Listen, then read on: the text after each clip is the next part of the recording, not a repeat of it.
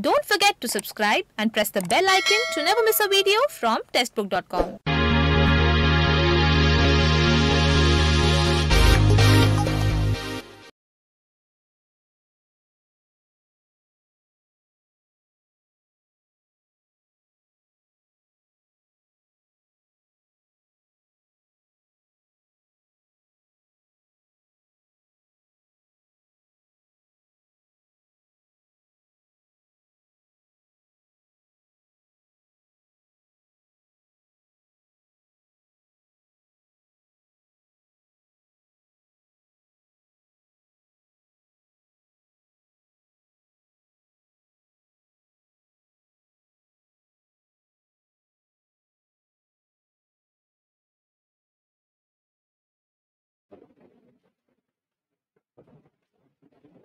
Hello officers Testbook banking के YouTube channel पर आप सभी का स्वागत है। तो आज एक और मास्टर स्ट्रोक का सेशन यानी मेंस के लिए कुछ इस सेशन में मैं लेकर आया हूँ। जैसा आप सभी लोग जानते हैं कि रीजनिंग के मास्टर स्ट्रोक ये सेशंस हमने सिर्फ़ और सिर्फ़ मेंस के लिए डेडिकेट किया है। ठीक है? तो आज का ये session mains point of view होने वाला है। जी हाँ बिल्कुल। क्योंकि देखो, एक सिंपल सा फंडा है।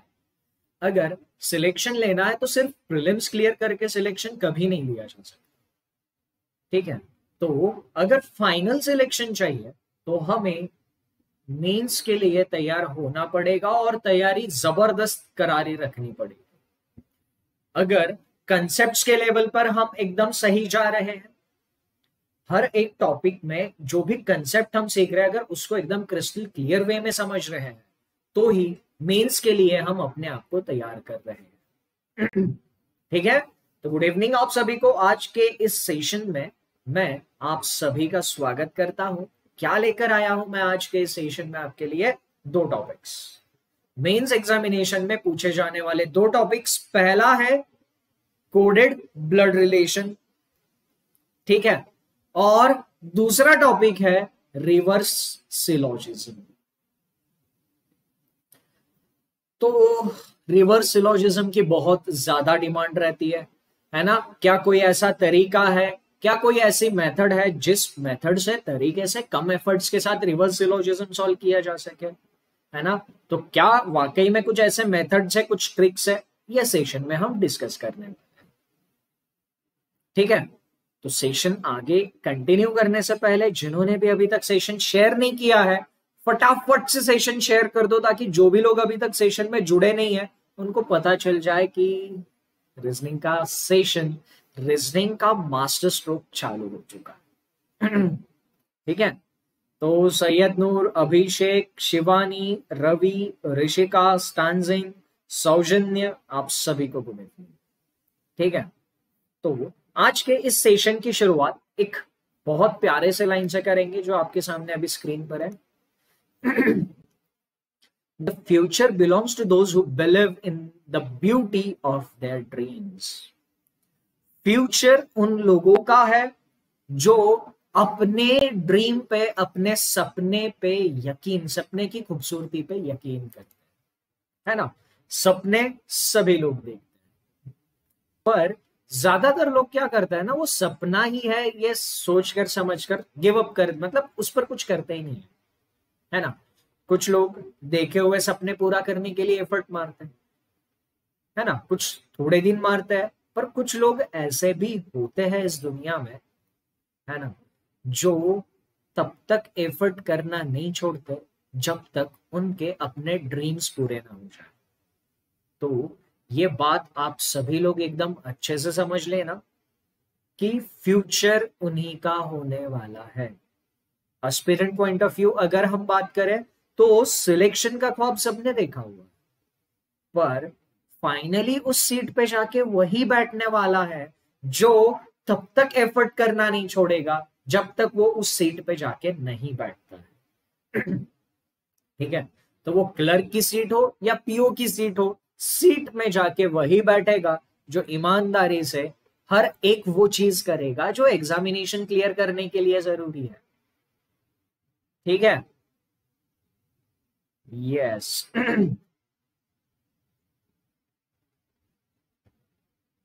चलिए तो सेशन की शुरुआत करें।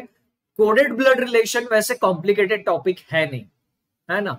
तो कोडेड ब्लड रिलेशन आपको आता है अगर आपको ब्लड रिलेशन सॉल्व करना आता है, पर यहाँ पर आज के इस सेशन में कोडेड ब्लड रिलेशन को सॉल्व करने का बहुत ही बढ़िया तरीका हम लोग देखने वाले हैं। ठीक है? तो ये तरीका वो सब लोग जानते होंगे जिन्होंने, इससे पहले कोई बैच अटेंड की है। है ना? चलिए रेडी है? तो चलो, आज के इस सेशन की शुरुआत करेंगे। जैसा कि मैंने आपको कहा, दस क्वेश्चंस मींस लेवल के डिस्कस करने हैं। ठीक है? जिनमें से पाँच क्वेश्चंस होंगे कोडेड ब्लड रिलेशन के। और पाँच, ये कोडेड ब्लड रिलेशन के जो क्वेश्चंस होंगे ना, इन क्वेश्चंस को सॉल्व करने के मेथड देखने लायक होगी, सीखने लायक होगी। ठीक है ना? और पाँच क्वेश्चंस हम डिस्कस कर रिवर्स सिलोजिज्म के। ठीक है? इन रिवर्स सिलोजिज्म के क्वेश्चंस में बहुत ही बढ़िया लेवल के क्वेश्चंस भी रहेंगे, है ना? और कुछ कुछ ट्रिक्स भी रहेंगी। तो रिवर्स सिलोजिज्म में बहुत बढ़िया लेवल के क्वेश्चंस और बहुत बढ़िया ट्रिक्स भी हम डिस्कस करेंगे। तो रेडी सब लोगों ने सेशन के लिए लिख दिया है तो पहला क्वेश्चन मैं आपको दिखा रहा हूँ। टाइमर के साथ कोशिश करना, सभी लोग टाइम के अंदर इस क्वेश्चन का आंसर दे सके। एस का रिलेशन यू के साथ पूछा है।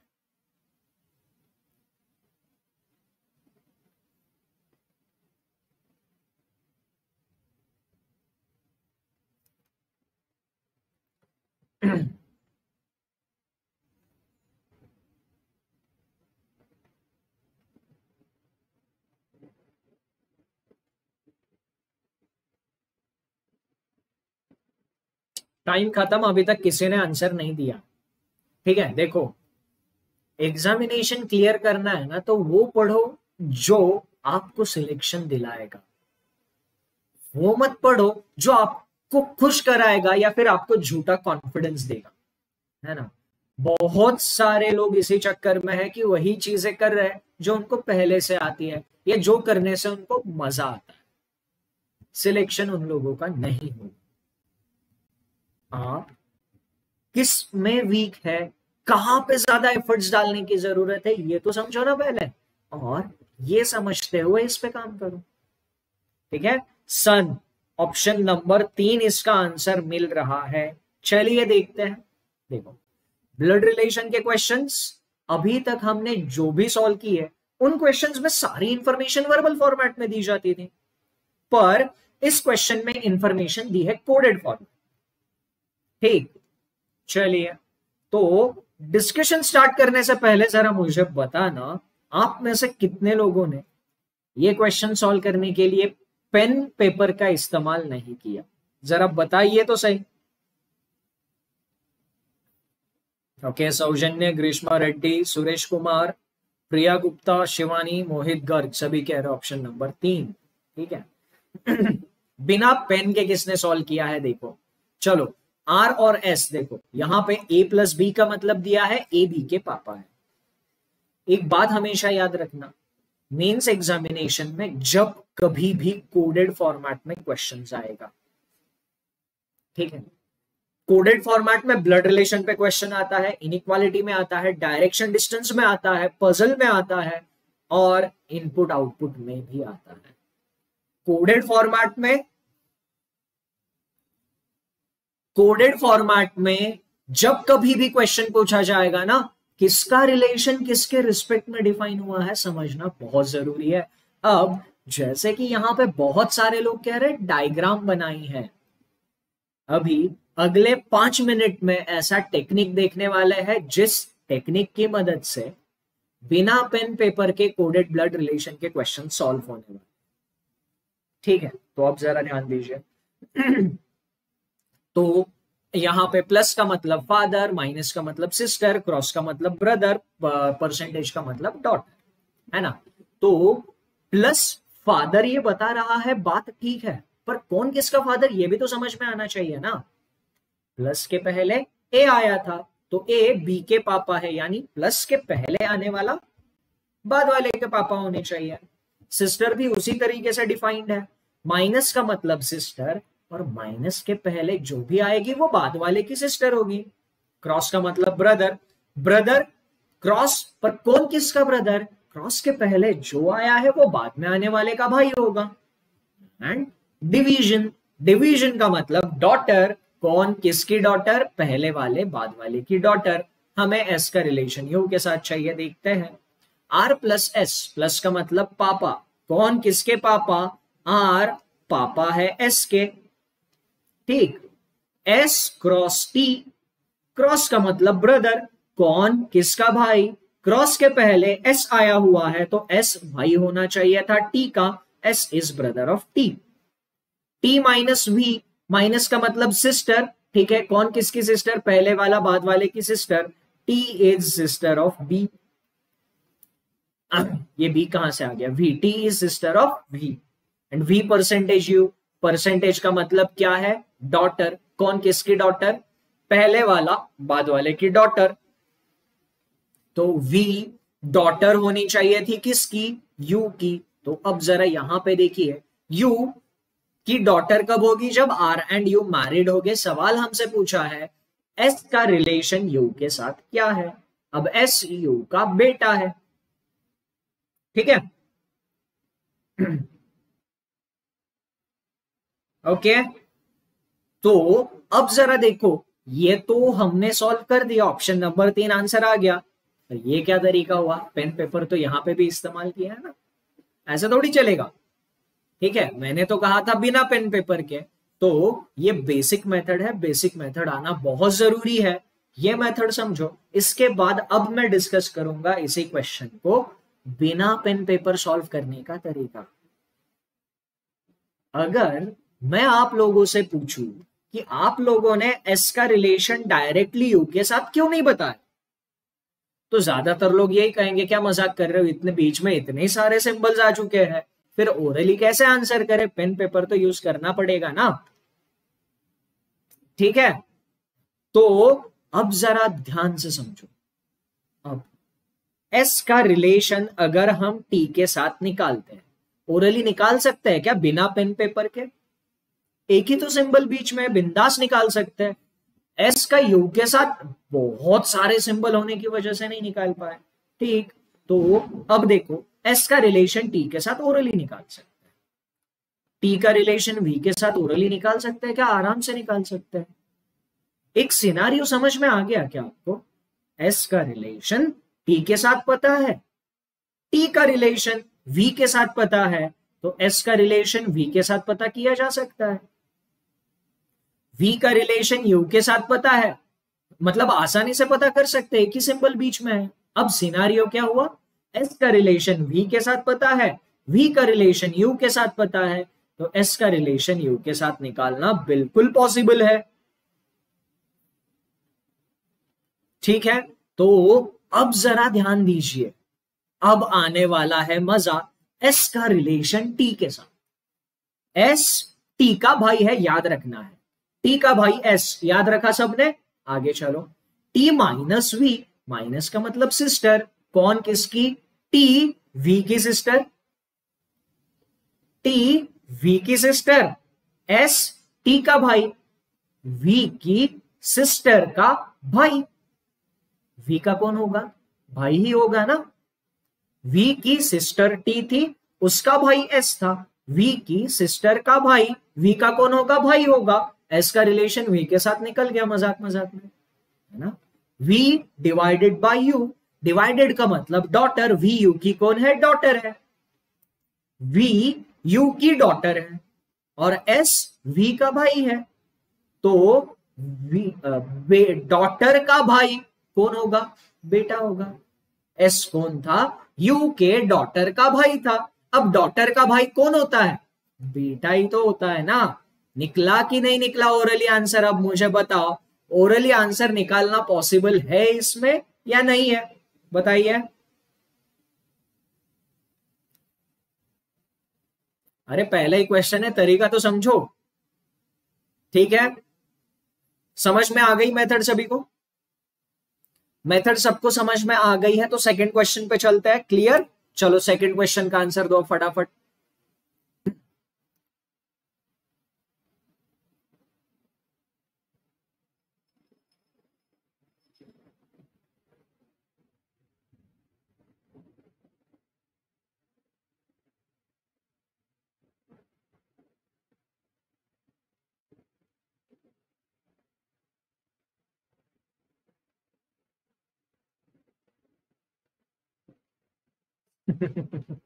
मज़ा आया कि नहीं आया? अभी अभी एक शॉर्टकट सीखा था। अब क्या करेंगे? यहाँ पे तो शॉर्टकट लगेगा ही नहीं। है ना? एक बात समझना। एग्जामिनेशन क्लियर करने के लिए बेसिक और शॉर्टकट दोनों भी पता होने ज़रूरी है। इस क्वेश्चन में अभी अभी हमने जो ट्रिक लगाई, वो लग सकती है क्या? आराम से लग सकती है। लगानी है क्या? नहीं। जब हमें इस फॉर्मेट में क्वेश्चन मीन्स में पूछा जाएगा, एक बात हमेशा ध्यान में रखना एक्सप्रेशन से अगर बहुत सारे रिलेशन चेक करने होंगे तो बेहतर क्या रहेगा? डायग्राम ड्रॉ करना बेहतर रहेगा। ठीक है? तो इस एक्सप्रेशन की डायग्राम ड्रॉ कर लेते हैं डब्ल्यू क्रॉस आर क्रॉस का मतलब मदर अब यहाँ पे हर एक सिंबल का मतलब अलग है। सिंबल के मतलब भी देखते हुए चलना है। Okay Vivek Shukla ji thank you so much and यहाँ अभी इस पे ध्यान दीजिए जो आपकी स्क्रीन पे चल रहा है। तो क्रॉस का मतलब मम्मी डब्ल्यू आर की मम्मी जी है। W is mother of R ठीक, इसके बाद आर क्रॉस जे क्रॉस का मतलब फिर से क्या है? मदर कौन? पहले वाला, बाद वाले की मदर आर मम्मी जी है किसकी? जे की। जे माइनस एस माइनस का मतलब वाइफ पहले वाला पर्सन बाद वाले की वाइफ तो जे माइनस एस यानी जे वाइफ है एस की। ओके एस परसेंटेज हुई परसेंटेज का मतलब सन कौन किसका बेटा? पहले वाला, बाद वाले का बेटा। तो एस बेटा होना चाहिए था किसका? वी का। कब पॉसिबल होगा? जब वी एंड आर मैरिड होंगे। ए, रुको रुको रुको रुको गड़बड़ कर दी हमने यहाँ पे। हमने नहीं, मैंने। ठीक है? एस कौन होना चाहिए था? एस वी का बेटा होना चाहिए था। तो यहाँ पे वी आ गया। वी प्लस एल प्लस का मतलब हस्बैंड वी हस्बैंड है किसके? एल के। तो V is husband of L diagram बन गई। अब फटाफट चेक कर लेते हैं। ठीक है? चलो। अब W is maternal grandmother of J. W, J की maternal grandmother maternal grandmother mummy की मम्मी जे की मम्मी आर उनकी मम्मी डब्ल्यू जे डब्ल्यू की डब्ल्यू जे की मैटरनल ग्रैंड मदर पहला स्टेटमेंट बिल्कुल सही है। V is father in law of J J के हस्बैंड के पापा भी यानी फादर इन लॉ है, दूसरा भी सही। L is the wife of V L V की वाइफ है, ये भी सही है। L is mother in law of S ये गलत है एल एस की मदर इन लॉ नहीं थी, मम्मी थी। यानी option number four not correct हमें पहचानना था। ऑप्शन नंबर फोर सही आंसर है। Absolutely correct Gaurav Kumar ji question ध्यान से पढ़िएगा। क्वेश्चन में नॉट करेक्ट पूछा हुआ है।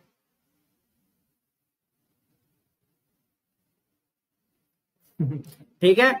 चलो, देखो सिंपल सिंपल क्वेश्चन है, गलतियाँ मत करो।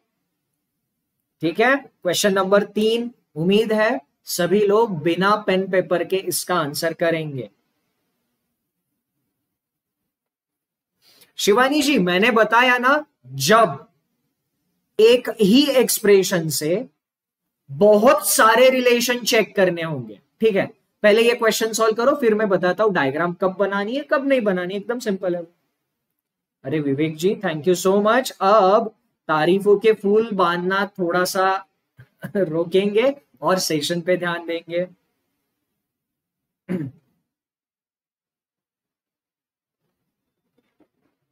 टाइम खत्म हो गया। अब देखो, यहाँ पे how is P related to U अब एक एक्सप्रेशन से एक ही रिलेशन हमें निकालना है ना?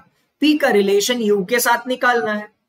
यानी, एक एक्सप्रेशन से एक ही रिलेशन चेक करना था। पिछले वाले क्वेश्चन में ध्यान दीजिएगा। एक एक्सप्रेशन से ये भी रिलेशन चेक करना था, ये भी करना था, ये भी करना चार चार रिलेशन एक ही एक्सप्रेशन से चेक करने थे तो हम ये थोड़ी ना करते बैठेंगे, हर हर बार ओरली वहाँ पे चेक करते बैठो। उससे ज़्यादा अच्छा क्या होगा? उससे ज़्यादा अच्छा फैमिली ट्री बनाओ लास्ट क्वेश्चन की और आंसर करो, ये ज़्यादा सही अप्रोच होगा। अब यहाँ पर फैमिली ट्री तो ड्रॉ नहीं करेंगे। क्यों? क्योंकि यहाँ पे डायरेक्ट आंसर निकालेंगे पी का रिलेशन यू के साथ कैसे? पी का रिलेशन आर के साथ निकालेंगे प्लस का मतलब वाइफ पी आर की वाइफ है। याद रखेंगे। ठीक है? पी कौन है? आर की वाइफ है। आर क्रॉस टी क्रॉस का मतलब क्या है भाई? तो आर टी का भाई है। टी के भाई की वाइफ है ना? टी के भाई की वाइफ आर है। और पी है। ये याद रहा सभी को? आगे। टी माइनस क्यू माइनस का मतलब अब। अब अब अब क्रॉस क्रॉस में गड़बड़ है, देखो। यहाँ पे कुछ एक्सप्रेशंस में रिलेशन फॉरवर्ड वे में डिफाइन हुआ है और कुछ में बैकवर्ड्स ये जरा ध्यान देना है कोडेड ब्लड रिलेशन में ये गड़बड़ कर सकता है। ठीक है? अब देखो। यहाँ पे ये दोनों रिलेशंस जो है ना, इन दोनों में बाद वाले का रिलेशन पहले वाले के साथ पता चल रहा था। तो अब जरा ध्यान से देखिए। ठीक है? तो P प्लस आर पहले वाली बाद वाले की वाइफ होनी चाहिए थी, यानी P आर की वाइफ है। R cross T P R की वाइफ आर क्रॉस टी मतलब टी जो है, वो भाई होगा किसका? आर का। आर का भाई टी ठीक है? आर मेल है पी आर की वाइफ थी तो आर मेल है, यानी आर कौन हुआ? टी का भी भाई ही हुआ। आर कौन हुआ? टी का भी भाई हुआ टी के भाई की वाइफ यहाँ तक हम पहुँच गए। आगे Q T minus Q minus का मतलब डॉटर पर कौन? बाद वाली। तो क्यू टी की डॉटर होनी चाहिए थी। क्यू डॉटर है टी की। तो क्यू के पापा के भाई की वाइफ है पी क्यू के पापा के भाई की wife P Q plus S plus का मतलब वाइफ है। क्यू कौन है? एस की वाइफ है और यू कौन है? उनका यू उनका बेटा है। यू उनके पापा है है ना? तो यू का रिलेशन पी का रिलेशन यू के साथ क्या हुआ? आंटी जी हुआ। ठीक है? ओरली कितने लोगों ने इस क्वेश्चन का आंसर निकाला है, जरा बताओ? ये ओरली आंसर निकालने का तरीका कितने लोगों को समझ में आ गया है? चौथा क्वेश्चन दूँगा, उसको भी ओरली ही सॉल्व करना है। इसके बाद रिवर्स सिलोजिज्म के क्वेश्चन हमें डिस्कस करना है बट फटाफट बताओ जरा अब तक ये ओरली सॉल्व करने का तरीका समझ में आया कि नहीं आया?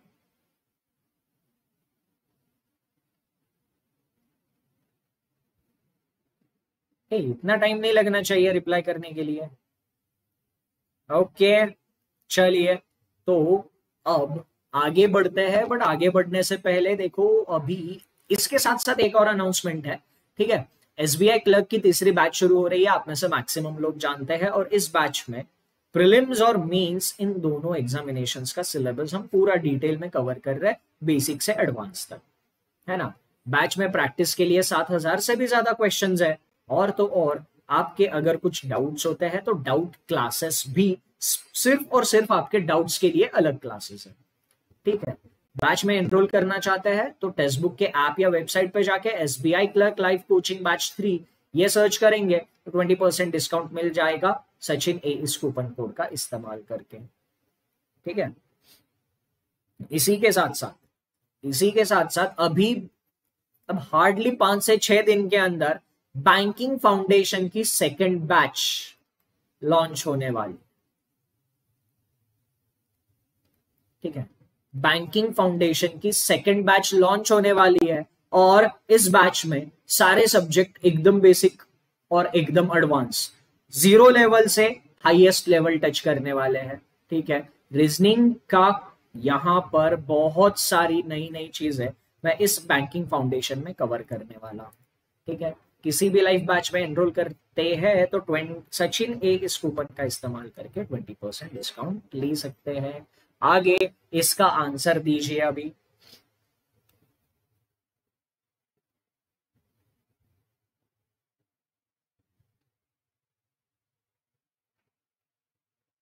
यस प्रिया जी, अभी जो बैचेस बताई है SBI clerk life batch three वो पेड बैच है। ठीक है, जिसकी फ़ीस की सारी डिटेल्स आपको टेक्स्ट बुक ऐप या वेबसाइट पे जाकर मिल जाएगी।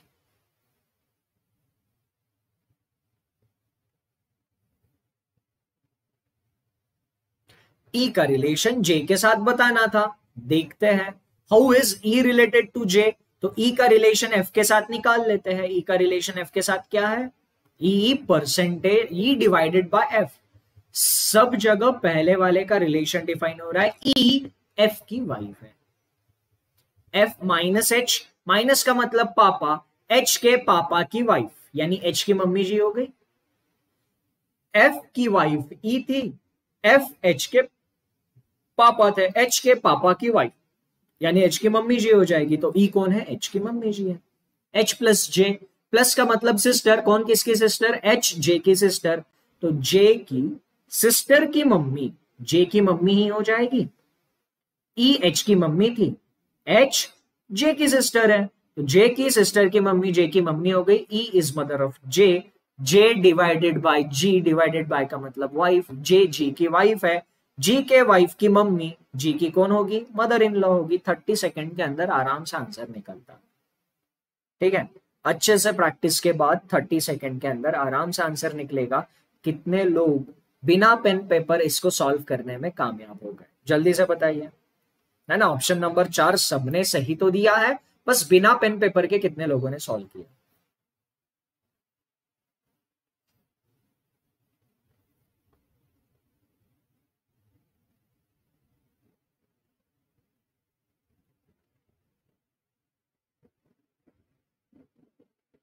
ओके ग्रीष्मा रेड्डी जी आपने कर दिया।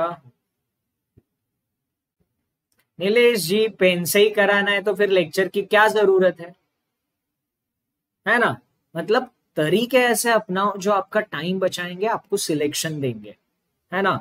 अगर तरीकों से आप डर गए तो फिर एग्जामिनेशन क्लियर करने के लिए बेसिक वैसे टाइम बहुत ज़्यादा है ना? मैं टाइम बचाने के चक्कर में और आप बोल रहे हो टाइम बढ़ाओ हमारे पास बहुत टाइम है, ऐसा नहीं है। एम का रिलेशन एस के साथ चाहिए। तो एम यहाँ पर है एस यहाँ पर है।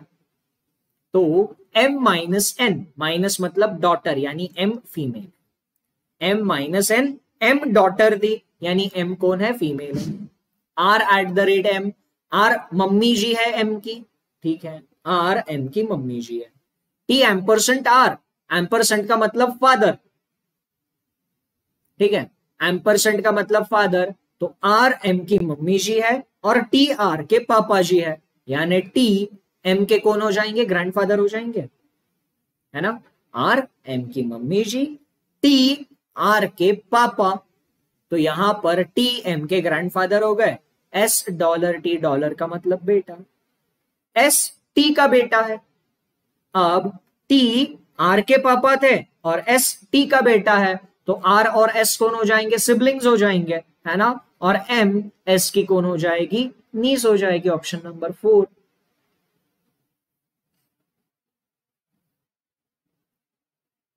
अच्छा आरबीआई अटेंडेंट में डिट्टो सेम टू सेम वही क्वेश्चन आए थे जो मैंने कराए थे, ठीक है? कोशिश हमेशा यही रही है, रहती है और हमेशा रहेगी। आप सभी लोगों को एग्जामिनेशन रिलेवेंट कंटेंट दिया जाए। फिर चाहे वो प्रिलिम्स एग्जामिनेशन हो या मेंस एग्जामिनेशन हो, ठीक है? बस आप लोग रेगुलर नहीं रहते हो, कभी इधर, कभी उधर, है ना? तो सारी चीज़ें आधी अधूरी ही रह जाती है, ठीक है?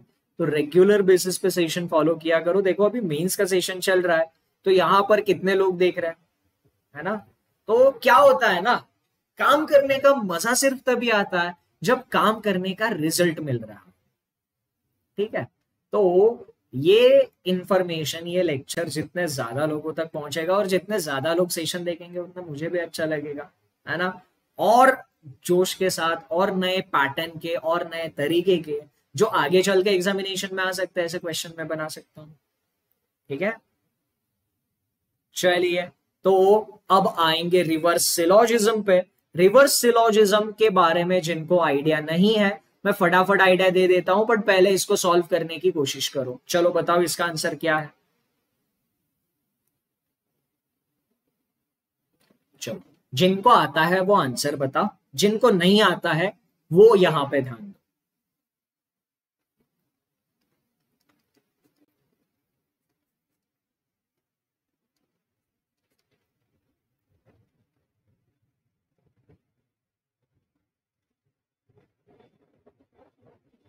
ओके तुम भी J K Chakma okay thank you so much for your lovely words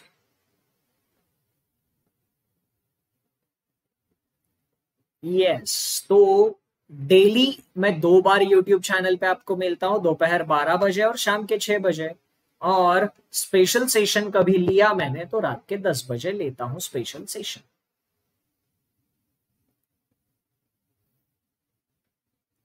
option number four, are you sure? देखो, अभी रिवर्स सिलोजिज्म में भी कुछ अच्छी अच्छी चीज़ें देखेंगे और मैं अभी से आपको बता दूँ, क्वेश्चन नंबर नाइन जो होगा ना, वो आप सभी के लिए खतरनाक चैलेंज होने वाला है। ठीक है? क्वेश्चन नंबर नाइन सभी के लिए एकदम खतरनाक चैलेंज होने वाला है। तो देखना यह है कि कितने लोग इस चैलेंज को पूरा करते हैं। ये नहीं आता है। एक बात समझिए माइंडसेट हमारा क्या क्या माइंडसेट है, ये एग्जामिनर अच्छे से जानता है। अब आप में से कुछ लोगों ने कहा कि ये आता ही नहीं यार कैसे नहीं आता? आता है। सिलोजिज्म में अभी तक हमने कैसे क्वेश्चन सॉल्व किए? कुछ स्टेटमेंट्स दिए जाते थे और कुछ कंक्लूजन दिए जाते थे। और हम क्या करते थे? इन स्टेटमेंट के बेसिस पे इन दिए हुए कंक्लूजन में से कौन सा सही है, कौन सा गलत है, ये देखते थे ना। अभी तक हमने यही किया है। गौरव कुमार जी कह रहे हैं ऑप्शन नंबर पाँच दीपांश जी कह रहे हैं चार, और ठीक है। गौतम नाथ जी, मैं पुणे से हूँ, पुणे महाराष्ट्र। अब यहाँ पे ध्यान दीजिए। अब इस क्वेश्चन में किया क्या है? एग्जामिनर कह दिया एग्जामिनर ने, अब बहुत हो गया। है ना? ऐसे क्वेश्चन दे दे के मैं दे, दिए जा रहा हूँ, दिए जा रहा हूँ। इसमें कुछ भी नया करूँ स्टूडेंट्स हर बार अच्छे तरह से तैयार होके आते और उसको सॉल्व करते हैं। एग्जामिनर ने सोचा कि मैं क्वेश्चन को ही उल्टा फ्रेम कर देता हूँ। ठीक है? मैं एक कंक्लूजन ही दे देता हूँ और उन पर कुछ स्टेटमेंट के सेट देता हूँ। और इसमें करना क्या होता है ना? ये जो स्टेटमेंट के पाँच अलग अलग सेट हमें दिया है, इन पाँच सेट में से कौन सा सेट इन सारे कंक्लूजन्स को सही बनाता है, ये देखना होता है। रामचरण जी, प्रणाम। सेशन पे ध्यान दीजिए अब। ठीक है? बात समझ में आई? रिवर्स सिलोजिज्म में क्या करना होता है? ये स्टेटमेंट पहले स्टेटमेंट से ये सारे कंक्लूजन चेक होते हैं क्या देखना? है पहले सेट में चार स्टेटमेंट है। तो इनसे ये सही है कि नहीं चेक करेंगे? अगर नहीं तो दूसरे से नहीं तो तीसरे से नहीं तो चौथा नहीं तो पांचवा।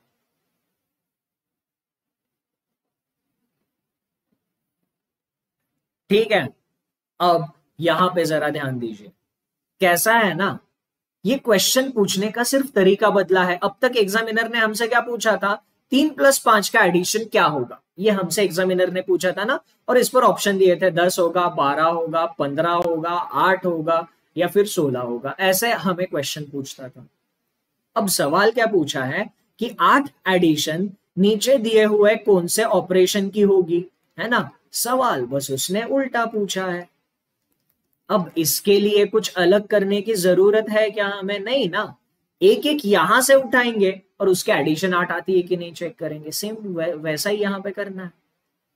बेसिक तरीका क्या होगा इसको सॉल्व करने का? बेसिक तरीका ये होगा, पहले स्टेटमेंट पहले ऑप्शन में जितने भी सारे स्टेटमेंट्स दिए उनकी डायग्राम ड्रॉ करो और चेक करो कंक्लूजन सही होता है कि नहीं।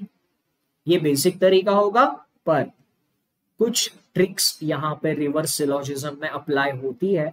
और वो ट्रिक्स अगर डिटेल में समझना चाहते हैं तो यूट्यूब के ही कुछ सेशन है। सेशन का नाम है सिलोजिज्म की शानदार ट्रिक्स सिलोजिज्म की शानदार ट्रिक्स ये सेशन का नाम है।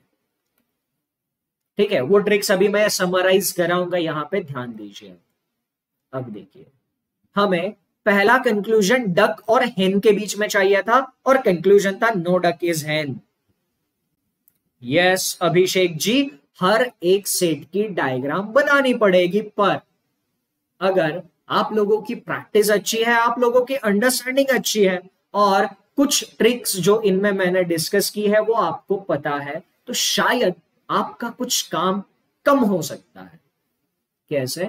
तो देखिए डक और हेन में हमें नो का रिलेशन चाहिए था। तो no duck is hen. Statement पहले ऑप्शन में पहला स्टेटमेंट क्या मिलता है? Some ducks are hen. तो पहले ऑप्शन के पहले स्टेटमेंट से ही ये समझ में आया कि यहाँ पर ये कंक्लूजन तो सही होना ही नहीं था।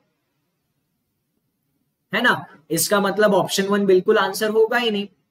इनमें से एक भी गलत हो गया तो ऑप्शन कैंसिल है। ठीक है? तो पहले ही स्टेटमेंट ने हमें बता दिया कि पहला कंक्लूजन गलत हो रहा है। अब डक और हेन के बीच में रिलेशन चाहिए। डक यहाँ पर मैकपाई मैकपाई से काउ डक से हेन अब जरा यहाँ पे फिर से देखिए, मैं क्या कर रहा हूँ? मैं सिर्फ़ स्टेटमेंट में डक से हेन तक कहाँ कहाँ, कैसे कैसे जा सकता हूँ देख रहा हूँ। तो स्टेटमेंट में डक से हेन तक जाने के लिए मुझे एक ही स्टेटमेंट मिला यहाँ पर no duck is hen statement दिया है no duck is hen conclusion भी दिया है no duck is hen okay तो जैसा स्टेटमेंट वैसा ही कंक्लूजन दिया जाए तो कंक्लूजन गलत होता है। रीस्टेटमेंट हमेशा गलत होते हैं। हम लोगों ने ऑलरेडी डिटेल में डिस्कस किया है। अरे प्रिया जी मैकपाई क्या होता है? वो छोड़ दीजिए। है ना? ये मैकपाई क्या होता है? मुझे भी नहीं मालूम। रीजनिंग पे ध्यान दीजिए। ओके और सेटिंग अरेंजमेंट पजल सॉल्व करने में 20-30 मिनट लगते हैं एक ही क्वेश्चन में। यस uh, मैं इसके लिए सॉल्यूशन बताता हूँ क्या करना है बट फ़िलहाल यहाँ पे तीसरे ऑप्शन पे ध्यान दीजिए। डक से हेन तक जाने का रास्ता ढूंढना है। ठीक है? हेन हमें यहाँ पे मिला। हेन से काउ काउ से eagle hen cow magpie duck अब जरा यहाँ पर देखिए। डक से मैकपाइज मैकपाइज से काउस ठीक है? और फिर यहाँ पर काउज से हेन। रास्ता समझ में आ गया आप? डक से जाएँगे मैकपाई, ठीक है ना? यहाँ से यहाँ जाएँगे। फिर मैकपाई से जाएँगे काउ और फिर काउ से जाएँगे हेन। इस तरीके से डक से हेन तक हम पहुँच सकते हैं। ठीक है? तो यहाँ पर एक बात हमेशा याद रखना, जब कभी भी ऑल का एंड सम का ऑल का एंड किसका कॉम्बिनेशन करेंगे नो का कॉम्बिनेशन करेंगे ठीक है? इस ट्रिक को डिटेल में मैंने सिलोजिज्म की शानदार ट्रिक्स में डिस्कस किया हुआ है। रीस्टेटमेंट्स गलत क्यों है? ठीक है, बताता हूँ। बताता हूँ रीस्टेटमेंट्स गलत क्यों होते हैं? पहले यहाँ पे ट्रिक पे ध्यान दीजिए। ठीक है? तो ऑल एंड नो का कॉम्बिनेशन कभी भी इस वाले फॉर्मेट में करेंगे आपको। अगर स्टेटमेंट दिया है ऑल ए आर बी और आपको कॉम्बिनेशन करना है नो बी इज़ सी ठीक है? आपको अब कॉम्बिनेशन करना है, ठीक है, यहाँ पे बी लेते हैं और यहाँ पे ए लेते हैं। ऑल एंड नो का कॉम्बिनेशन आपको कुछ इस तरीके से करना है कि यहाँ वाली एंटिटी का रिलेशन आपको इस वाली एंटिटी के साथ चाहिए। अगर ऐसा कॉम्बिनेशन करने जाएँगे तो हमेशा सम नॉट आता है। ठीक है? ऐसा क्यों होता है? क्या होता है? उसके लिए ये वीडियोस रेफर करने हैं। ठीक है? तो अब देखो डक मैकपाइज मैकपाई काउ अगर ये दो स्टेटमेंट में कंबाइन करूँगा तो मुझे रिलेशन मिलेगा some ducks are not cows मुझे रिलेशन क्या मिलेगा? Some ducks are not cows check करना चाहे, आप डायग्राम बना के चेक कर सकते हैं। ठीक है? और फिर इसको मुझे किसके साथ कंबाइन करना है? All hens can all hens are cows के साथ। ऑल हेन्स आर काउज के साथ कंबाइन करना है, ठीक है? तो एक बात हमेशा याद रखना, अब इसको भी कंबाइन करना है तो इसका भी रिजल्टेंट सम नॉट आएगा, ठीक है? ये ट्रिक मैंने इन वीडियोस में डिस्कस की है, अगर नहीं पता है तो इसके डायग्राम ड्रॉ करके हम सीधा चेक कर सकते हैं, ठीक है? तीसरे भी स्टेटमेंट से ये कंक्लूजन सही नहीं हो रहा है। चौथा देखते हैं हेन से काउ काउ से ईगल ईगल से डक एंड डक से मैकपाई ठीक है? तो अब देखो, हमें किस तक जाना था डक तक? सम एंड ऑल का कॉम्बिनेशन करेंगे तो सम आता है। ऑल एंड सम का कॉम्बिनेशन करते हैं तो सम मिलता है, ये बात हमेशा ध्यान रखना। ठीक है? बट वो कॉम्बिनेशन किस फॉर्मेट में होना चाहिए? All A are B and some A are C ठीक है? अगर ऐसा स्टेटमेंट दिया है और हमें इन दोनों के बीच में रिलेशन चाहिए तो वो रिलेशन हमेशा सम का आएगा, सम बी आर सी ठीक है? तो यहाँ पर अब सम हेन्स आर ईगल्स ये रिलेशन निकलेगा। Some hens are eagles some and no का कॉम्बिनेशन करेंगे तो सम नॉट आ जाएगा। तो यहाँ पर सम डक्स आर नॉट हेन ये रिलेशन मिलेगा, ये भी नहीं चलेगा। यानी इसमें सही आंसर ऑप्शन नंबर फाइव होना चाहिए। ठीक है, ये कॉम्बिनेशन सारे मैंने इसमें डिस्कस किए हैं। ओके चलिए, अब जरा आगे चलते हैं क्वेश्चन नंबर सेवन पे।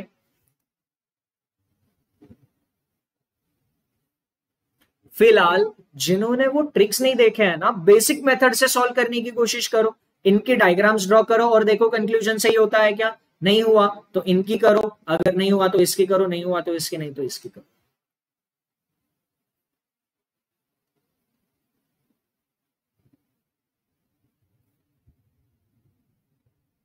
अच्छा रीस्टेटमेंट गलत क्यों होता है? चलो ठीक है। ये क्वेश्चन एक्सप्लेन करने से पहले मैं रीस्टेटमेंट का लॉजिक एक्सप्लेन कर देता हूँ, हर्ष जी।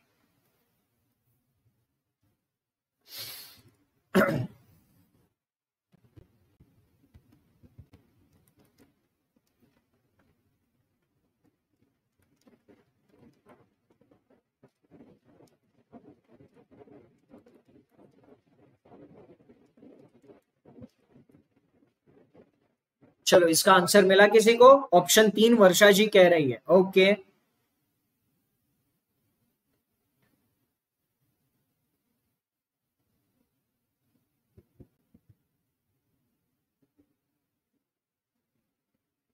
ओके सौरभ पांडे जी कह रहे हैं ऑप्शन तीन, साहिल बंसल जी कह रहे हैं ऑप्शन नंबर चार, तीन और चार में कंफ्यूजन है। ठीक है, शिवन, जी भी ऑप्शन तीन के। इस क्वेश्चन के डिस्कशन से पहले थोड़ा सा रीस्टेटमेंट वाला एक बार रिवाइज करा देता हूँ, जिनको पता नहीं है। देखो स्टेटमेंट दिया है all A are B and conclusion भी दिया है ऑल ए आर बी तो कायदे से अगर देखा जाए तो स्टेटमेंट की डायग्राम तो ऐसे बनेगी ऑल ए आर बी फिर ये कंक्लूजन गलत क्यों होता है? रीस्टेटमेंट यानी जैसा स्टेटमेंट दिया है, अगर उसी को कॉपी पेस्ट करके कंक्लूजन में लिखा गया है तो वो रीस्टेटमेंट रिस्टेटमेंट गलत क्यों होता है? यह समझने के लिए आपको कंक्लूजन इस वर्ड का डेफिनेशन समझना होगा। कंक्लूजन क्या होता है? कंक्लूजन होता है, जो भी इंफॉर्मेशन दी गई है, उस इंफॉर्मेशन को प्रोसेस करने के बाद, जो ओपिनियन बनाते हैं, उसको कंक्लूजन कहते हैं। ठीक है? तो यहाँ पे दी हुई इंफॉर्मेशन को प्रोसेस करने के बाद जो ओपिनियन बनाया जाता है, उसको कंक्लूजन कहते हैं। रीस्टेटमेंट रिपीटेड इंफॉर्मेशन होती है तो उसमें कुछ प्रोसेसिंग हुआ ही नहीं।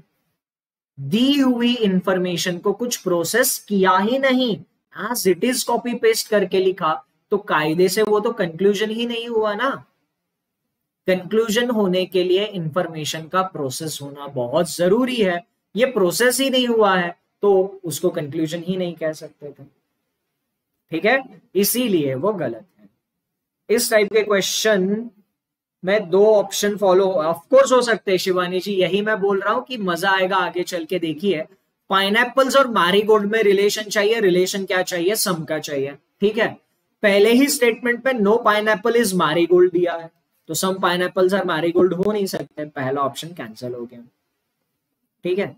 Marigold berry berry pine apple देखो, अगर ऑल एंड सम को कंबाइन करना चाहे कुछ इस तरीके से, ऑल ए आर बी दिया है, ठीक है, and some B are C दिया है, एक बात हमेशा ध्यान में रखना, ट्रिक के तौर पे याद हुई तो आंसर बहुत जल्दी आ सकता है। अगर ऑल एंड सम को कंबाइन करना हो और ऑल में जो बाद में एंटिटी प्रेजेंट हो, अगर वो कॉमन रही। ऑल एंड सम को कंबाइन करना है। फॉर एग्ज़ाम्पल ए और सी के बीच में रिलेशन चाहिए। और इन दोनों में एंटिटी कॉमन कौन सी है? जो ऑल में बाद में आई है। ऐसी सिचुएशन में ए और सी के बीच में कोई भी रिलेशन नहीं निकलता है। It is can not be determined A और सी के बीच में कोई रिलेशन नहीं निकलेगा। देखिए marigold berry berry pine all और सम को कंबाइन करना था। और एंटिटी कौन सी कॉमन थी? जो ऑल के बाद में आई। है अगर पहली वाली एंटिटी कॉमन होगी तो सम का रिलेशन निकलेगा। ठीक है? अगर यही स्टेटमेंट ऐसा होता all A are B and some A are C अगर ऑल में आई हुई पहली एंटिटी सम में कॉमन होती तो इनका कॉम्बिनेशन बन के सम निकलता। पर अगर ऑल में आई हुई दूसरी एंटिटी कॉमन मिल रही है तो हम रिलेशन निकाल नहीं सकते। ठीक है? तो अब जरा यहाँ पे देखिए। यहाँ पे मैरीगोल्ड बेरी बेरी पाइन पहली पहली एंटिटी कॉमन है यहाँ पे बेरी ये एंटिटी कॉमन है तो मैरीगोल्ड और पाइन में रिलेशन निकल नहीं सकता ऑप्शन सेकंड कैंसिल हो गया। ठीक है? चलो, आगे देखते हैं। Some cherries are marigold pine और मैरीगोल्ड में, ठीक है? सम मैरीगोल्ड आर पाइन ठीक है? सम मैरीगोल्ड आर पाइन पहला कंक्लूजन इससे सही हो रहा है, एक स्टेटमेंट से समझ में आ रहा है। है ना? मैरीगोल्ड का कुछ हिस्सा पाइन है तो पाइन का कुछ हिस्सा मैरीगोल्ड होना चाहिए, पहला सही हो गया। Some berry is not marigold is a possibility आपको याद है, मैंने बताया था कि स्टेटमेंट में अगर कभी भी दो से ज़्यादा सम आते हैं तो कोई भी पॉसिबिलिटी सही हो सकती है। देखो बेरी और मैरीगोल्ड के बीच में बेरी यहाँ पे है बेरी से चेरी चेरी से मैरीगोल्ड सम दो बार आया, इसका मतलब मैरीगोल्ड और बेरी के बीच में कुछ भी पॉसिबिलिटी सही हो सकती है। तीसरा ऑप्शन सही होना चाहिए। सब कहा डिस्कस किया हुआ है? सिलोजिज्म की शानदार ट्रिक्स डिस्कशन क्लियर हो गया सबको? डिस्कशन क्लियर हो गया सभी को? क्लियर ठीक है। देखो बेसिक तरीका तो आप जानते हो, इसीलिए मैं बेसिक तरीका शेयर नहीं कर रहा हूँ। नहीं तो बेसिक तरीके से क्या करना होता? पहले स्टेटमेंट की डायग्राम ड्रॉ करनी होती, दूसरे की करनी होती, तीसरे की भी करनी होती और एक एक करके हम चेक कर लेते हैं। आपका राइट प्रिया जी ग्रेट भी तेजा समझ में आ रहा है। अभिषेक जी क्लियर बहुत बढ़िया। Question number eight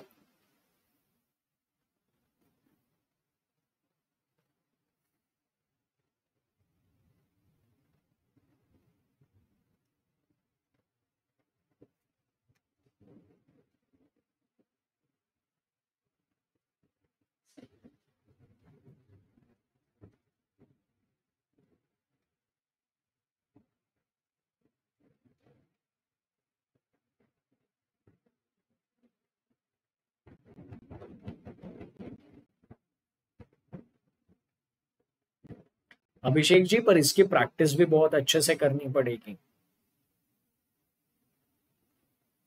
अच्छा सौरभ जी, सिर्फ़ तीन का ही डायग्राम ड्रॉ किया था। चलो ठीक है, बहुत बढ़िया।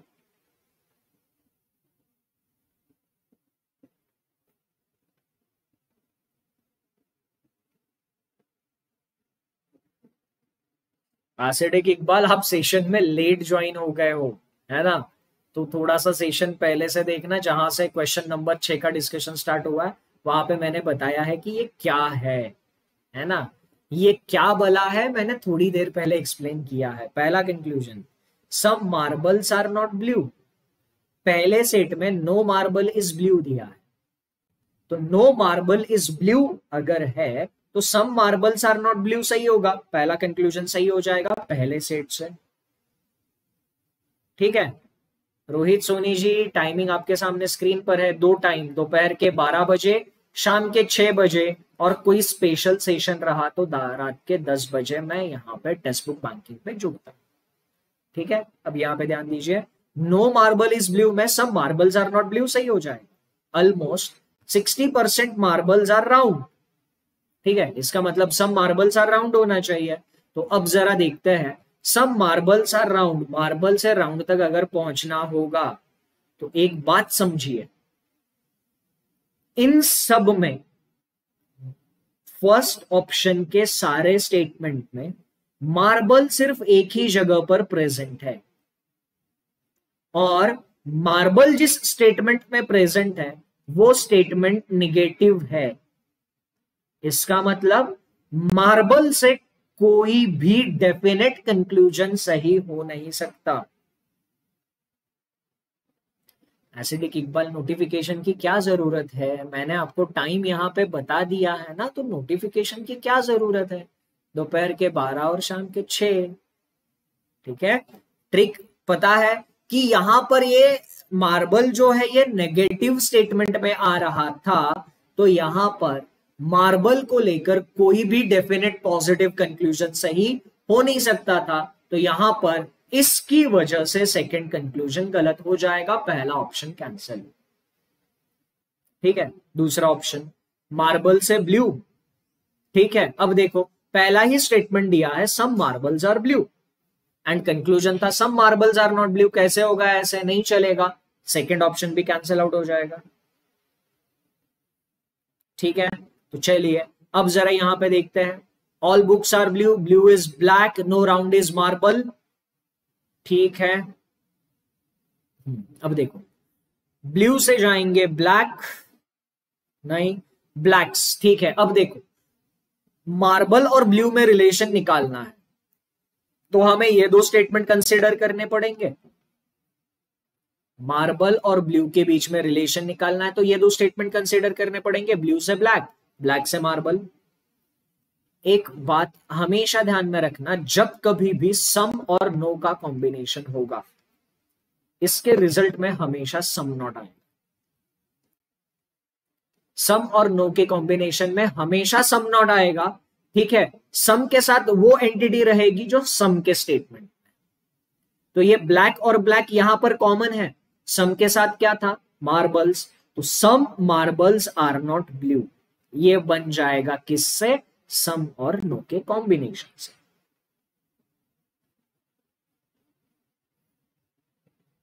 ठीक है? तो अब जरा यहाँ पे देखो। नो और सम को अगर हम कंबाइन करते हैं तो सम नॉट आता है। कैसे? सम के साथ वही एंटिटी रहेगी जो सम में थी। तो मार्बल्स यहाँ पे रहेगा। नॉट नो में क्या था? ब्लू था। तो यहाँ पे ब्लू रहेगा। Some marbles are not blue some marbles are not blue पहला कंक्लूजन सही हो गया। मार्बल्स और राउंड के बीच में रिलेशन चाहिए था। मार्बल और राउंड नेगेटिव स्टेटमेंट में है। मार्बल और राउंड नेगेटिव स्टेटमेंट में है तो यहाँ पे पॉजिटिव कंक्लूजन उनके बीच में सही हो नहीं सकता था। ऑप्शन तीन कैंसिल हो गया।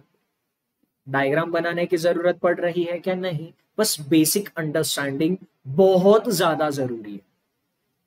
ठीक है? और बोथ टू एंड थ्री भी नहीं होगा तो ज़ाहिर सी बात है, पाँच में से चार नहीं हो रहा है तो पाँचों ऑप्शन फॉलो होना चाहिए था ठीक है? एब्सोल्युटली करेक्ट पांचवा आंसर सही अब आने वाला है आपको चैलेंज वाला क्वेश्चन ठीक है? तो अब मुझे बताइए चैलेंज के लिए आप में से कितने लोग रेडी है? कितने लोग कॉन्फिडेंट के साथ कह सकते हैं कि वो चैलेंज आप पूरा ही करोगे? ऑप्शन फाइव ट्रू नहीं है. All round are marble all round are marble तो सब मार्बल्स आर राउंड होना चाहिए. पहले स्टेटमेंट से दूसरा कंक्लूजन सही हो रहा है. मार्बल और ब्लू के बीच में रिलेशन चाहिए था. ठीक है? तो मार्बल बुक्स बुक्स ब्लू इन दोनों का कॉम्बाइन करेंगे तो some marbles are not blue मिलेगा. ठीक है? इसका सॉल्यूशन ऑप्शन नंबर पाँच सही है. ओके चलो question number nine regular syllogism है। ये रिवर्स सिलॉजिज्म नहीं है, ये रेगुलर सिलोजिज्म है। देखते हैं कितने लोग सही से आंसर करते हैं।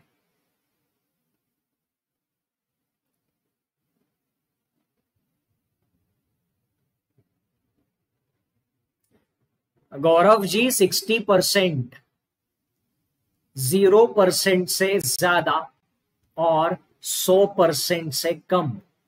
कोई भी वैल्यू दी है तो उसको सम के तरह मानते हैं। Zero point zero zero zero zero zero one percent some है। Ninety nine point nine nine nine nine nine percent भी सम बात समझे? ठीक है, और ये सारी चीज़ें बेसिक सिलोजिज्म में हम लोगों ने कवर की।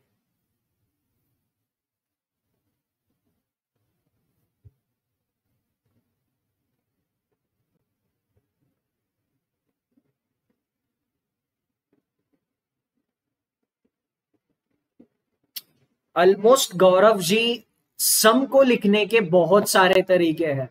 सम को almost at most at least few a few है ना? रेयरली ओकेजनली परसेंटेज ऐसे सम को लिखने के बहुत सारे तरीके हैं।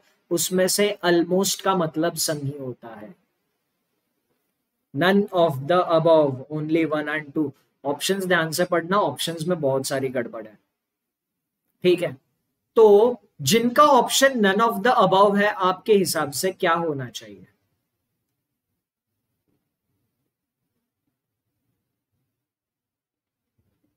नहीं फ़र्स्ट और लास्ट स्टेटमेंट सेम नहीं है। वो नहीं है। अभिषेक जी, नहीं है। पहला और आखिरी सेम नहीं है। ध्यान से देखना। एवरी ए इज़ बी ठीक है ना? एवरी का मतलब ऑल होता है। तो पहले स्टेटमेंट का मतलब है all A are B drop कर लिया हमने। ठीक है? ऑल ए आर बी हम लोगों ने ड्रॉ कर लिया। ऑलमोस्ट ऑल ऑलमोस्ट ऑल का मतलब सम होगा। तो ऑलमोस्ट ऑल बीआरसी का मतलब है सम बीआरसी ठीक है? पर एक बात जरा यहाँ पर आपने ये नोटिस की क्या? पहला और पांचवा स्टेटमेंट ठीक है? पहला स्टेटमेंट कह रहा है ऑल ए आर बी और पांचवा स्टेटमेंट कह रहा है? ऑल बी आर ए तो कैसे ड्रॉ करेंगे इसको? सारा ए बी होना चाहिए और तो और सारा बी भी ए ही होना चाहिए। तो ये सिर्फ़ और सिर्फ़ तभी पॉसिबल होगा जब ए और बी दोनों का सर्कल एक ही होगा। है कि नहीं? उसके अलावा ये पॉसिबल था क्या? सारा ए बी होना चाहिए था एंड सारा बी ए होना चाहिए था। यानी ये दो स्टेटमेंट मिलकर सिर्फ़ ये बता रहे हैं A is equal to B समझ में आ गई बात? यस हर्ष जी, बिल्कुल सही। Almost all B are C का मतलब सम बी आर सी है। है ना? ऑलमोस्ट ऑल का मतलब सम होता है तो सम बी आर सी इसका मतलब। Only few C are not D इसका मतलब ओनली फ्यू आर नॉट ठीक है? Only few C are not D का मतलब सम सी आर डी होना चाहिए and some C are not D होना चाहिए। ठीक है? Hundred percent D are E hundred percent D are E का मतलब है some D are E sorry all D are E होना चाहिए। सारे डी क्या होने चाहिए? ई e होने चाहिए hundred percent D are E ठीक है? डायग्राम हमारी बन गई। फटाफट देख लेते हैं। ठीक है? इसमें आंसर जिन्होंने नन ऑफ़ द अबव दिया है डिस्कशन से तो और ज़्यादा मज़ा आएगा, देखो। Some B can definitely be E तो इस कंक्लूजन का सीधा सीधा मतलब है some B can be E इसका मतलब क्या है? Some B can be E can definitely और कैन में कोई फ़र्क नहीं होता है। ठीक है? अब some B can be E B का कुछ हिस्सा ई e हो सकता है क्या? ऑफ़ कोर्स हो सकता है। पहला कंक्लूजन सही हो गया। ठीक है? Not all E are C अब ये नॉट ऑल का मतलब क्या होता not all E are C का मतलब all E are not C all E are not C होगा और all E are not C का मतलब क्या होगा? सम ई आर नॉट सी अब हमें पता है, ये कैसे चेक करते हैं? सम नॉट को ऑल के पॉसिबिलिटी से चेक करते हैं। सारा ई सी के अंदर जा सकता है। ऑल की पॉसिबिलिटी सही, यानी कंक्लूजन गलत हो जाएगा। दूसरा कंक्लूजन गलत हो गया। हम्म। नहीं, हर्ष जी कैन आया है ना यहाँ पर?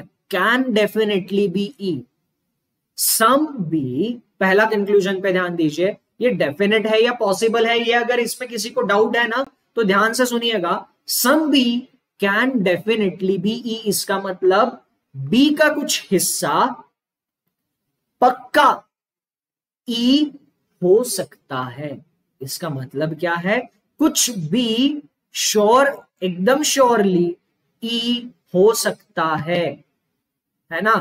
तो इसका सिंपल मतलब some B can be E था। इस बात को समझो। नहीं नहीं Bhagyashree ji not all E are C का मतलब all E are not C होता है। ठीक है? और all E are not C का मतलब some E are not C होता है। ये मैंने आपको एग्ज़ाम्पल के साथ बताया। ठीक है? देखो, ये लेक्चर अभी लाइव सारे लोग देख नहीं रहे इसका मतलब सम नॉट कैसे होगा? नो क्यों नहीं होगा? एक बात को समझो। ठीक है? इसका मतलब सम नॉट ही क्यों है? नो क्यों नहीं है? है ना? ये लेक्चर अभी लाइव चल रहा है और सारे लोग तो लाइव लेक्चर देखते नहीं है, बहुत सारे लोग लेक्चर हो जाने के बाद में रिकॉर्डेड वीडियो देखते हैं। तो अगर मैं कहूँगा all students are not watching this session right now तो मैं सही कह रहा हूँ ना? All students are not watching this session right now मैं सही कह रहा हूँ। पर क्या मेरे कहने का मतलब यह है no one is watching this session right now of course नहीं। क्योंकि आप लोग तो अभी ये सेशन देख रहे हो। तो all E are not C का मतलब some E are not C होता है। समझ में आ गया? All E are not C का मतलब some E are not C all are not watching का मतलब नो वन इज़ वॉचिंग बिल्कुल भी नहीं होगा। ठीक है? अब ज़ीरो परसेंट ज़ीरो परसेंट का मतलब होता है no no E is A अब ई e और ए के बीच में कोई डेफिनेट रिलेशन पता नहीं है। तो ये भी गलत हो गया। अब तक समझ में आ गया है तो इसमें और भी ट्विस्ट बाकी है। कहानी अभी खत्म नहीं हुई, और ट्विस्ट आएँगे इसमें। नहीं सम ईआरसी नहीं होगा। नेगेटिव टोन नहीं छोड़ना है ना। ऑल के साथ जो नॉट जुड़ा हुआ है, उसकी वजह से वो पॉसिबिलिटी हो सकती है। सम ई कैन बी सी हो सकता था Bhagyashree ji but negative tone नहीं छोड़ना था। इसी वजह से यहाँ पे ये नॉट लेना पड़ रहा था। है ना? इसीलिए मैं कहता हूँ कि लेक्चर्स रेगुलरली फॉलो करना नहीं तो मींस के लेक्चर में आप समझ रहे हो कितनी ज़्यादा यहाँ पर हर एक क्वेश्चन में, हर एक कंसेप्ट को यहाँ पे याद दिलाना पड़ा तो बहुत डिफ़िकल्ट हो जाएगा। सेशन रेगुलरली अटेंड किया करिए। अब मज़ा क्या है देखना आपको इसमें? ठीक है? अरे यार, Gaurav Kumar ji. Some E are not C कैसे सही होगा, गौरव जी? बेसिक ही नहीं पढ़े तो कैसे चलेगा? सम नॉट सही दिखा तो कॉम्प्लीमेंट्री ऑल की पॉसिबिलिटी चेक की। सारे ई को सी के इस हिस्से के अंदर हम भेज सकते हैं सी के इस हिस्से के साथ। ई का कुछ रिलेशन पता नहीं है। ऑल की पॉसिबिलिटी सही हो गई तो सेकंड कंक्लूजन गलत हो गया। ठीक है? तो अब जरा यहाँ पे ध्यान दीजिए। ठीक है? अब देखो यहाँ पे। ओनली वन फॉलोज ऑप्शन में हमारे पास है। इसको टिक करें। Only second and three does not follow ये भी हमारे पास है। इसको टिक करें। किसको टिक करें? पहले को या दूसरे को? इसका सही आंसर जो है वो ऑप्शन नंबर ई है। पर कहानी यहाँ पे खत्म नहीं होती। मुझे सोच समझ कर बताना, पहले और तीसरे में आइदर और हो सकता है क्या?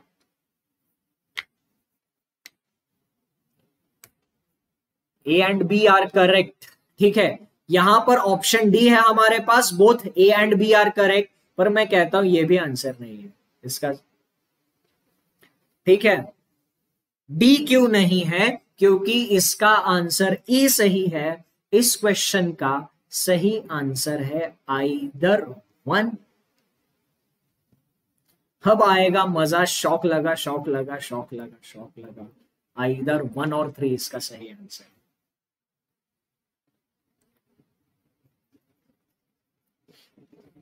ठीक है ना, मैं बताता हूँ डी क्यों नहीं होगा? पूरा आंसर तो सुन लीजिए। ठीक है? ए और बी ये दोनों तो हो ही रहा है। बोथ ए एंड बी ये दोनों तो हो ही रहा है, पर इसमें एक और तीन में आइदर भी तो हो रहा है ना? ये कहा दिया है? तो ये ऑप्शन डी परफेक्ट आंसर नहीं है। देखिए, पहला कंक्लूजन क्या था? Some B can be E some B can be E possibility में आइदर और कैसे लगता है? लास्ट वीक में हमने देखा है। सेशन किसी ने देखा नहीं है मिस किया है तो सेशन देख लेना।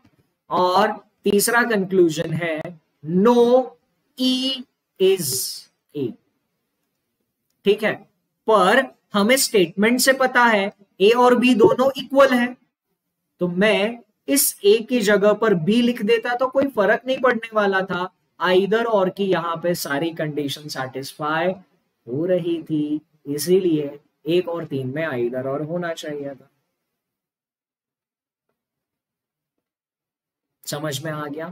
पॉसिबिलिटी में भी आइदर और लग सकता है। ये मैंने आपको लास्ट हफ़्ते ही बताया हुआ है। क्वेश्चन कैसा लगा? क्वेश्चन कैसा लगा? ये है S B I PO mains level का क्वेश्चन ठीक है? पूरा कंसेप्ट का निचोड़। जब तक कंसेप्ट क्लियर नहीं होंगे, तब तक मीन्स निकालने में दिक्कतें आती रहेगी। ठीक है? इसीलिए मैं चिल्ला चिल्ला के कहता हूँ कि कंसेप्ट पे ध्यान दिया करो। चलो, अब एक होमवर्क मैं आपको दे देता हूँ, ठीक है? आपके सामने स्क्रीन पर एक क्वेश्चन है, इसका स्क्रीनशॉट ले लीजिए और इसका आंसर मुझे कमेंट सेक्शन में कमेंट करके बताइए, देखिए। इसको और थोड़ा सा लेंदी बनाया है और इस पैटर्न में एस बी आई पीओ में क्वेश्चन पूछे गए थे लास्ट टाइम कंक्लूजन स्टेटमेंट्स और आंसर आपको यहाँ से करने हैं। तो इसका स्क्रीनशॉट ले लीजिए और इसका आंसर क्या मिलता है मुझे कमेंट सेक्शन में बता दीजिए। ज़ोर का झटका, है ना? तो ज़ोर का झटका धीरे से ना लगे, इसके लिए क्या करना चाहिए? कंसेप्ट पे एकदम अच्छे से ध्यान देना चाहिए। ठीक है? तो मास्टर स्ट्रोक में ऐसे ही धमाकेदार रीजनिंग के मीन्स लेवल के क्वेश्चंस हम डिस्कस करते रहेंगे। मास्टर स्ट्रोक के सेशंस में यूजुअली रात के दस बजे ही लूँगा और जब जब लूँगा तब तब आपको नोटिफाई करूँगा। बस आप लोगों से एक कमिटमेंट चाहिए। क्या कमिटमेंट चाहिए? बस एक सिंपल कमिटमेंट चाहिए कि आप लोग रेगुलर बने रहेंगे। और रेगुलरली बने रह के सिंसियरिटी डेडिकेशन के साथ आप लोग अपना सिलेक्शन ले लोगे, बस इतना सा चाहिए। क्योंकि देखो मतलब सभी सभी जिन्होंने पहले एग्जामिनेशन दिए है, उनको पता है कि प्रिलिम्स की सिर्फ़ पढ़ाई करके सिलेक्शन नहीं होगा। और प्रिलिम्स क्लियर होने के बाद मेंस की प्रिपरेशन चालू करेंगे तो फिर हो गया मतलब अगले साल एग्जामिनेशन देना फिक्स है। क्योंकि मेंस लेवल में कंसेप्ट की क्लियरिटी उस पर प्रैक्टिस फिर आ, हमें स्पीड एंड एक्यूरेसी ये भी तो सारी चीज़ें चाहिए। ठीक है? तो कंसेप्ट समझने हैं उनकी प्रैक्टिस करनी है फिर मॉक टेस्ट भी देने हैं उनका एनालिसिस करना समझना हम कहाँ पे वीक पड़ रहे हैं तो इतनी सारी चीज़ें प्रिलिम्स खत्म होने के बाद नहीं हो सकती। तो मेंस की भी प्रिपरेशन साथ साथ में करते चलिए। ठीक है? आपको आने वाले एग्जामिनेशन में बहुत ज़्यादा बेनिफिट होगा इसका। सौरभ पांडे जी, आपका फ़र्स्ट टाइम है, कोई इशू नहीं है। ठीक है ना? फ़र्स्ट या लास्ट मैटर नहीं करता मैटर बस सिलेक्शन करता है। ठीक है? तो अगर आप सारे टॉपिक्स के बेसिक कंसेप्ट ज़ीरो से एडवांस लेवल तक पढ़ना चाहते हैं एसबीआई क्लर्क के लिए प्री और मेंस दोनों पॉइंट ऑफ़ व्यू तो ये बैच आप लोग ज्वाइन कर सकते हैं S B I clerk live coaching batch three इस बैच में सारे सब्जेक्ट प्री और मेंस के हिसाब से बेसिक टू एडवांस पढ़ाए जाएँगे। टॉपिक पढ़ाने के बाद सात हज़ार से भी ज़्यादा क्वेश्चन आप लोगों को टोटल प्रैक्टिस में मिलने वाले हैं, ठीक है? बैच में एनरोल करते वक्त सचिन ए इस कूपन का इस्तेमाल करके 20 परसेंट डिस्काउंट ले सकते हैं और ये सचिन ए कूपन कोड हर एक बैच पर 20 परसेंट डिस्काउंट आपको दिलाएगा। ठीक सेशन अगर अच्छा लगा हो तो सेशन लाइक करना और कमेंट सेक्शन में, ये अभी तो चैट सेक्शन चल रहा है ना, जब वीडियो खत्म हो जाएगा और कमेंट सेक्शन ऑन हो जाएगा कमेंट सेक्शन में बताना मत भूलना, आपको लेक्चर कैसा लगा? सेशन को शेयर करके ज़्यादा से ज़्यादा लोगों तक पहुंचाइए, ताकि ऐसे ही धमाकेदार सवाल बनाने के लिए और इनको कंटिन्यू रखने के लिए मुझे भी एनर्जी मिलती रहे। ठीक है? चलिए तो फिर आज के सेशन में यहीं पे रुकते हैं। Thank you. Take care. And subs important. Enjoy your time. Thank you so much.